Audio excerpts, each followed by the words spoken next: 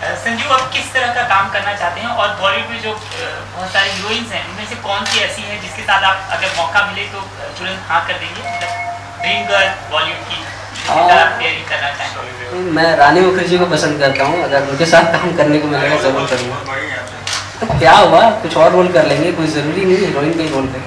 और ये जो आजकल कैटरीना दीपिका ये सारी इनमें अगर किसी को चूज़ करने के लिए कहा जाए जो लीडिंग इन दिनों कर रही है?